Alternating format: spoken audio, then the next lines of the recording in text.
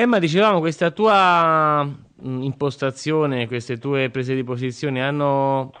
è una battuta, è una parentesi, però non possiamo non registrarla. Nei giorni scorsi, se non ricordiamo male, venerdì, sul Fatto Quotidiano, eh, Francesco Padoa-Schioppa ha scritto che sarebbe il momento di sogna un governo bonino, rigore credo sia Antonio Antonio Padoa-Schioppa, scusa. Eh, rigore e sacrifici ma equi. E quindi No. il nome tuo. Ma penso che, eh, a parte questo, insomma, ma a me sembra abbastanza evidente che eh, questo paese, i cittadini di questo paese hanno bisogno di una diversa classe dirigente che anche nei propri comportamenti, nella propria storia, che ha il suo programma nella sua storia, mm? perché al di là delle promesse giurin giurello che si possono fare per il futuro, eh, ci impegniamo a fare, faremo, eccetera, eccetera, la storia di ognuno è, è il programma vero su cui eh, eh, i cittadini possono fidarsi di più. E credo che la storia dei radicali eh, e il loro presente attuale eh, diano degli elementi di grande affidabilità in termini di correttezza, di correttezza di comportamenti, eh, di trasparenza dei propri comportamenti, eh, dalle iniziative di Cappato eh, in Lombardia all'anagrafe pubblica degli eletti e anche di consistenza rispetto ad un'analisi certamente molto solitaria diciamo, che facciamo della situazione italiana, la battaglia di Rita, di Marco ed altri, e de- noi tutti quanti sulla questione eh, della eh, riportare questo paese eh, ad una situazione di legalità, perché oggi noi abbiamo lo Stato che è in flagranza di reato e che va assolutamente interrotta e che poi l'assenza di Stato di diritto, di giustizia giusta, con la conseguenza spaventosa delle carceri, è poi uno degli elementi che eh, si conoscono anche all'estero, oltre che ovviamente oltre che in Italia, e che, che è, è il perno fondamentale a mio avviso di un eh, rilancio eh, spesso del paese. Il declassamento che l'Italia subisce ogni giorno, non da Moody's o Standard Poor's, ma Ah. Sulle sentenze della Corte di Giustizia Europea, sulle carceri, ne, ne è una testimonianza. Sotto questo aspetto, è- ed è appunto l'argomento che è in agenda, è in agenda Sì. radicale ed è in ordine del giorno del Senato. Questa settimana a Palazzo Madama si torna a, a parlare di carcere e giustizia. L'iniziativa di Pannella dei radicali, dei tanti detenuti e operatori del- delle carceri. Le parole di Napolitano. Eh, Emma, ehm, la settimana scorsa Pannella ha evidenziato il rischio di una sessione non straordinaria ma meno che ordinaria.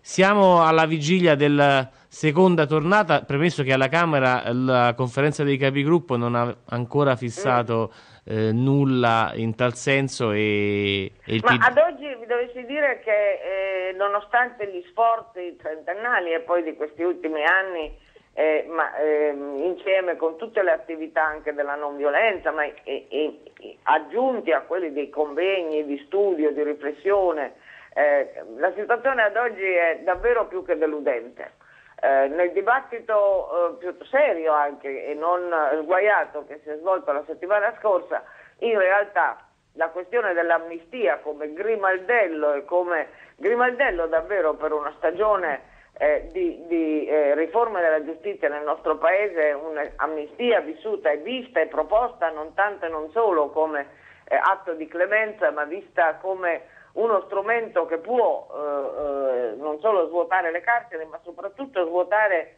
eh, diciamo, le scrivanie dei giudici e magari evitare le 200.000 prescrizioni annuali che sono una vera e propria amnistia non regolamentata da nessuno, ma eh, decisa in pratica da chi ha eh, il- l'avvocato più bravo, quindi più ricco, che fa eh, durare più a lungo i processi e che quindi vanno in prescrizione. Quindi è stata una seduta in cui certo tutto è stato sviscerato, ma dicevo deludente perché eh, lo strumento dell'amnistia come grimaldello e come leva per una stagione di mutamento profondo della situazione della mala giustizia nel nostro paese non è stata accolta da nessuno, è stata negata e respinta nella sua introduzione dallo stesso ministro e anche nel corso del dibattito io ho sentito che ho seguito con molta attenzione, in parte ho preceduto, eh, ho eh, ascoltato solo due interventi, quello di Compagna e in parte quello del collega Ferrante del PD, eh, pronunciare e sostenere questa proposta. Quindi eh, siamo in una situazione eh, davvero non solo eh, deludente da questo punto di vista, ma clandestina, nel senso che ha ragione Marco quando dice nonostante tutto, nonostante eh, eh, mesi, giorni, anni di iniziativa, mai, mai Belerò piuttosto che non so come diavolo si chiamano, mai abbiamo avuto o lui ha avuto la possibilità di un approfondimento, di parlare ai cittadini o almeno a una parte dell'opinione pubblica cui invece hanno possibilità di rivolgersi tutti quanti eh, in qualunque telegiornale o talk show che dir si voglia sulle cose più disparate e anche sulle cose diciamo, certamente meno pregnanti di quello che noi radicali stiamo aff- affrontando e portando avanti. E allora vediamo che cosa succederà questa settimana, anche ripetiamo se la Camera metterà in calendario eh, questa discussione alla prossima conferenza dei capigruppo perché le firme eh, a Montecitorio ci sono ormai da tempo. Eh, ma il resto della tua agenda politica, poi vediamo se riusciamo anche ad avere il tempo per un'altra domanda, però intanto... Eh... No, la settimana è piuttosto dedicata a questo e poi dovrò eh, andare a, a, parte le attività eh, ehm, al Senato, eh, venerdì sarò a Siviglia ad una eh, conferenza diciamo un po', un po', tutta, non solo al femminile, ma insomma una conferenza molto importante di raduno eh, organizzata dalla comunità sevigliana e poi parteciperò al eh, congresso dell'associazione Luca Coscioni che anche lì riporta alla luce, tenta di riportare alla luce un tema che è quello della libertà di ricerca scientifica, quello della libertà di decisione, dalla libertà di cura, cioè che eh, pare completamente eh, scomparso eh, dalla,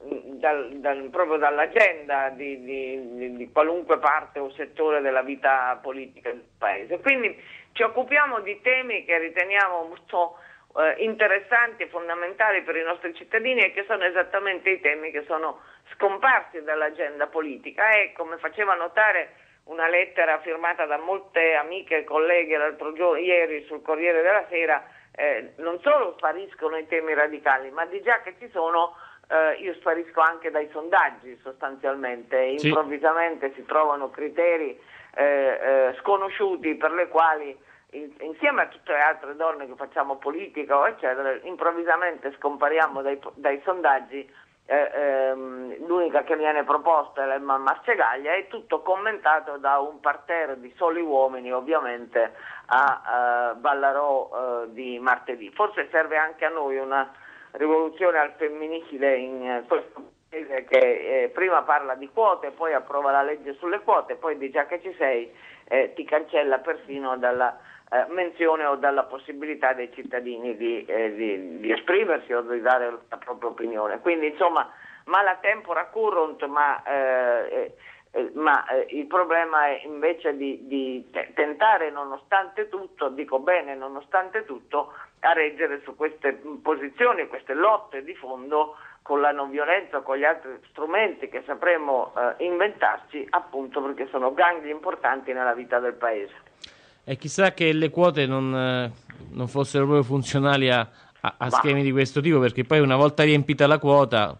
No, le quote poi cominceranno a riempirsi nel 2015, tipo Arabia Saudita per intenderci, per cui certo. eh, la legge entrerà in vigore mi pare un anno dopo, dopo, dopo la promulgazione, ma eh, appunto eh, il problema è, è, è quello più, più in generale in cui eh, su questa questione davvero da, sono, sono uniti tutta una serie di pilastri importanti del sistema italiano. Ed in quel senso ancora meglio eh, va appunto segnalato il fatto quotidiano per quell'articolo. Emma, l'ultima considerazione davvero, abbiamo due minuti scarsi, però eh, è la settimana questa che vedrà eh, il raggiungimento la, diciamo, della soglia di 500.000 firme e la consegna in Cassazione delle sottoscrizioni per il referendum elettorale. Eh, I radicali hanno denunciato eh, per tempo sì. i rischi eh, di una disillusione quando poi si, arriverà, si dovesse arrivare al giudizio della consulta nel prossimo mese di, di gennaio, anche con dovizia di eh, documentazione, di argomentazioni dottrinarie e costituzionali. Eh... Ma in effetti non solo eh, questo aspetto